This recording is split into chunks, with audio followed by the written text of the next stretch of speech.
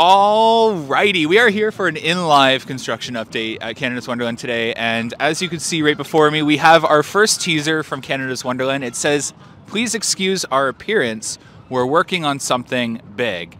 Stay tuned. And no, they're not referring to my size. I know it looks weird with me standing right next to a sign referencing big, but um, I'm working on that. But yeah, here we have our first teaser, um, and yeah, it's really exciting. It's definitely, I love when Wonderland starts teasing early. It's definitely referencing uh, definitely something big. I'm excited. Important. So here we have our first teaser. Um, it's over in Alpen. The big question has been, does Alpen connect to Extreme Skyflyer? And we have our answer. It clearly does. So this is really exciting. Um, the coaster is rumored to go all the way from Extreme Skyflyer inside the mountain over here in Alpen, and then who knows, maybe even farther.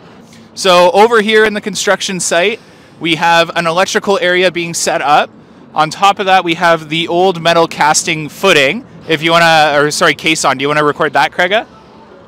So you can reach over the fence more. So here we have our teaser. It's over in Alpen. This has been a huge question. Does Alpen connect to Extreme Skyflyer's Pot of Land? Well, it looks like we have our answer. The teasers being in Alpen and Extreme gives us all that information. Over here we have that important Wonderland site office that I always talk about. And we have this giant caisson um, over here. These are going to act almost as protection when they're digging their footings. It'll prevent the soil from caving in. It gives the footings extra strength. Um, and then over here to our right, we have major electrical work. So for those of you that don't know, uh, Thunder Run used to be on the ground where the fly is, and this was its station. So they're reusing that power grid that Thunder Run used to have here for this new coaster and whatever it does here. Now, if you want an Amusement Insiders exclusive, Craiga, if you mind panning the camera over to this triangular fence here, this is awesome. this is a live construction update, guys. Um, we have a footing, and I want to tell you the importance of this footing. So if you pan to the left now, Craiga, to this footing here, and then if you go a little bit over to the right, it's a little more hidden. There's a pair of three footings here. This is where a supposed, speculated, rumored top hat is going to be located. And that top hat, if Craiga minds turning the camera over here, will actually exit somewhere over here. Oh, I am wrong. This is the exit of the top hat. The entrance to the top hat, I got confused by this own construction site, is actually located right over here. So right here is another pair of three footings. Now, a lot of you have been asking, Brendan, where are you getting this whole rumblings of Intamin? Now, this is a big part of that. So Intamin's footing design is very custom and unique. And um, if you look at footing designs for top hats or elements that go from low to high, Intamin has a skinny pair of footing design on their structures that they use. Now, some Mack models use this.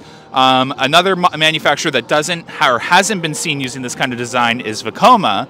Um, so it's a process of elimination when it comes down to this. Now, this is an important area for amusement insiders figuring out the project um, because this area we caught something on camera um, and it was very telling in terms of what we caught on camera. So this specific pair of footings, the three and the three, are a huge focus of Amusement Insiders figuring out this project, just to be transparent. We're gonna now head on over to Tunnel 3. You can cut it. Here at Tunnel 3, we have another teaser. Wow, big. Now I want to explain the lettering on this teaser. So this is Old English, um, which can be linked back to Old Germany. Um, the lettering design is obviously uh, a, a toot to uh, the potential theme of the new coaster. So, ooh, Thunder Run, girl. But uh, so we'll talk a little bit more about that in another video. But right here we have Tunnel 3, and Craig is going to work some magic on the camera here. He's a little short, so he's struggling, but there we go. We have inside Tunnel 3 um, for uh, the new coaster. Alrighty, so here we have Extreme Skyflyer's old pot of land. Now, this is an interesting pot of land because it could go either way, whether it's going to be a station area for the new coaster or an extreme element that's meant to be showcased at the front of the park. Um, it could go either way, so definitely an interesting pot of land that we'll have to be paying close attention to um, to figure out what exactly this plot of land is going to play into for the new coaster. They've done a lot of electrical work in this area, so as you can see where Craig is filming right now, they dug up an old water main and then they installed a new electrical box kind of just underneath the ground here, or compound is the right word. So yeah, definitely curious about how this is going to play into our new 2025 project. Alrighty, so here's an overall view of what Alpen looks like to you guys that aren't able to get to the park today. So Craig is just going to do some little panning shots here to show you the overall construction site. It's a lot more clustered um, than I even imagined, but uh, I like that they added some of these signs. I like all the teasers on the uh, fencing as well. Uh, so I'm really excited. What do you guys honestly think it's going to be? Intamin, Vekoma, Mack, B&M. What do you think it's going to be? I'm curious. Comment in the comment section down below.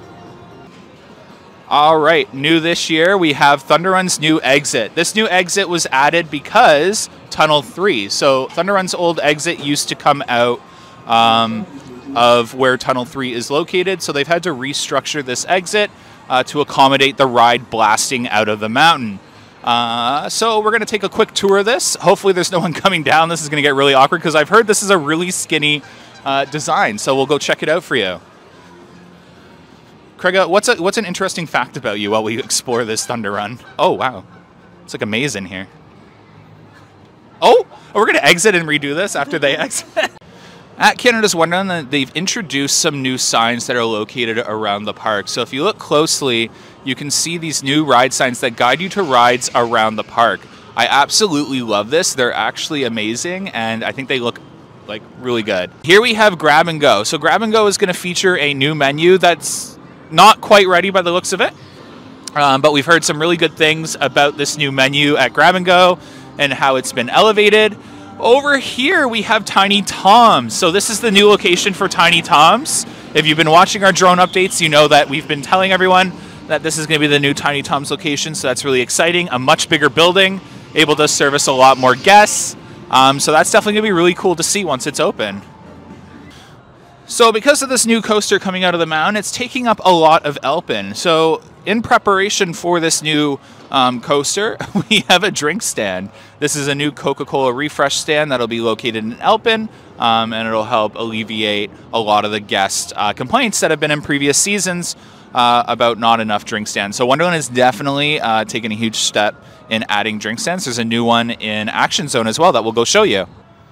Alrighty, and over here at Action Theater, if you've watched the drone videos, you know that there's some work going on.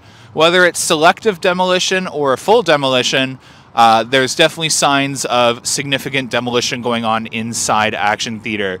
So, definitely a lot of speculation about what's going to happen. We know that Wonderland's been surveying guests about a family attraction and area back here, so it would 100% make sense if they needed this building a part of that family expansion. So, we'll keep an eye on this for you guys as the park prepares for its future enjoyment. All right, and right here we have the new Timber Kits drink stand that is being built. So this is a new refresh station that Canada's Wonderland is set up to replace the old Coca-Cola Misters. It definitely looks really good and blends in with the Frontier Canada theme. Alrighty, so it actually looks like they didn't add a drink stand. It looks like they removed this one and moved it over to the Coca-Cola Misters. So uh, this is now arcade games, and the new drink stand is located over closer to Minebuster. Alrighty. I keep saying alrighty. and over here we have World Expo Eatery. Um, this is going to be a new restaurant replacing Backlot Cafe. Uh, it's going to be set up similar to Lazy Bear Lodge in terms of how you order, and it's going to feature food from around the world. So, uh, definitely really exciting. It's going to have a renovated outdoor seating area as well. Um, so, really excited that Wonderland is going back to its old roots. So, definitely curious about how this will play into the new coaster. And over here we have Griffin's Crown. So this is the new VIP area. It'll be in this shelter here that you see under construction.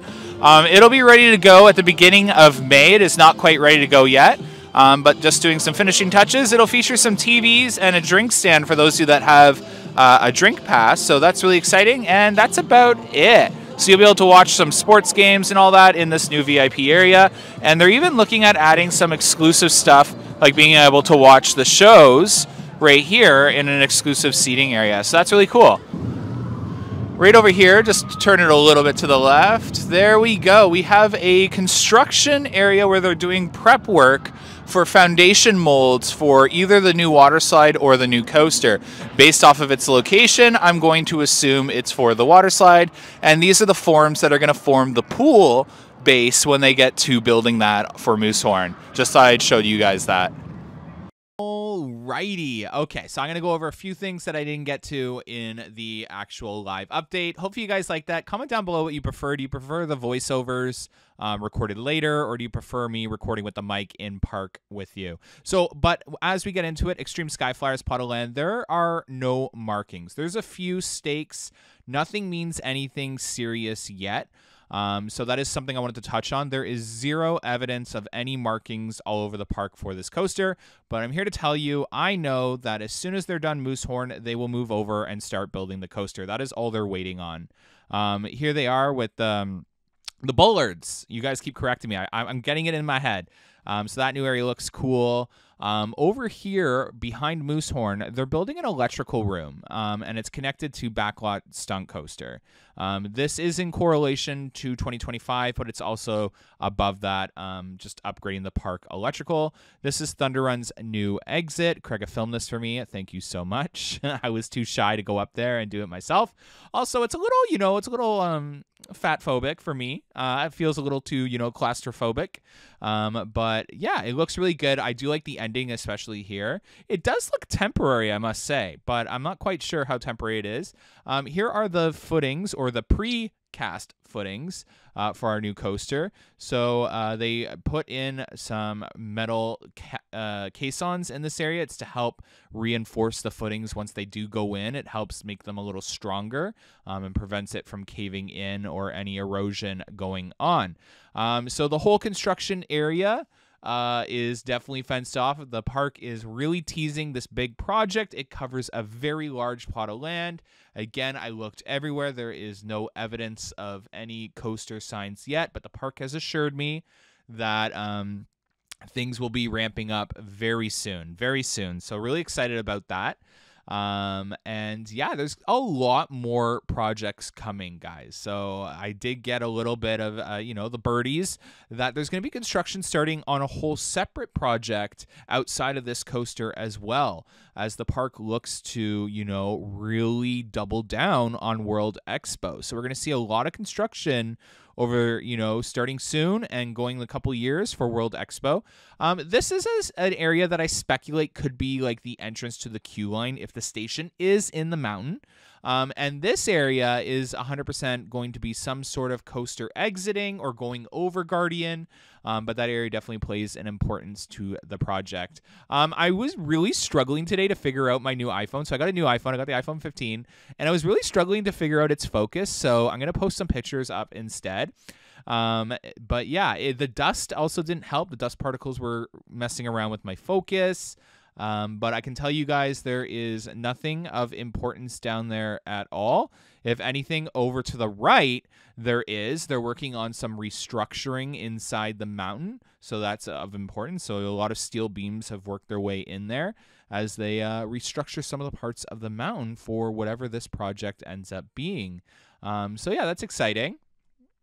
And here I was getting my friends to step on some of these pre-cast footing areas. So again, those little metal caissons to help with reinforcement are hidden in specific areas and we're really done up nicely where guests are walking. Um, so you can barely tell where they are if you didn't know from the drone footage. Um, so that was really cool, just being able to walk where there is soon going to be a support column.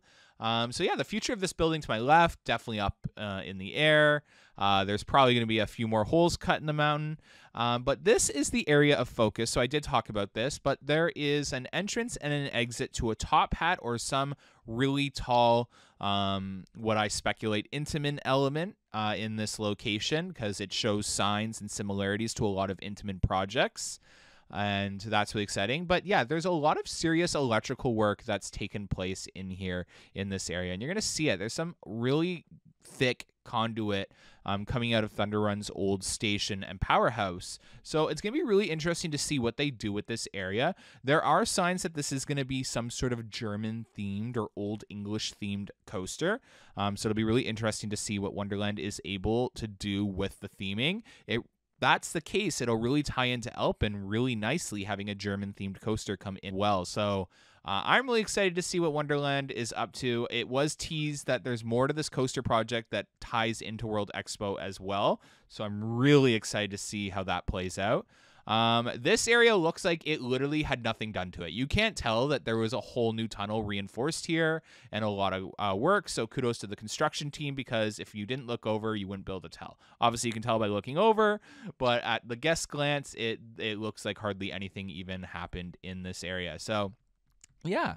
Um, it looks really good. Guardian is closed and not operational. Again, there is still some structural work going on. Um, so the ride is not ready. It will be ready soon. Don't worry. This isn't closed for the whole season. So don't worry about that. Uh, there's just, you know, work getting the ride ready uh, for opening. Um, outside of that, uh, nothing else to really report on. Nothing exciting here. No signs of footings. Um, but yeah. Uh, the front gate is beautiful, by the way. I love it. It's definitely going to be super efficient on really busy days. So they have a lot of these really efficient metal detectors, and then you get funneled into a queue line. So you either get funneled into no uh, no check or check, and it's going to be really quick, really efficient. There's strollers um, and wheelchair areas as well. Um, in the new front gate store, they have a lot of uh, art that pays homage to the park's history, um, a lot of stuff we haven't seen before. So that was really exciting. Uh, and um, there, there, you're, you're gonna have to watch it all. I might actually just end the video right here, um, and you guys just look at all the art and all the merch in the merch store in the new beautiful store. But if you look at some of these renderings, it's very like Disney esque. This ride right here, um, I would love to see that ride come to fruition. Blah. But yeah, anyways, uh, stay tuned for the rest of the video. It's to be the art in the store and just showcasing the store. Anyways, thanks so much for watching, guys. Have a good one. Bye.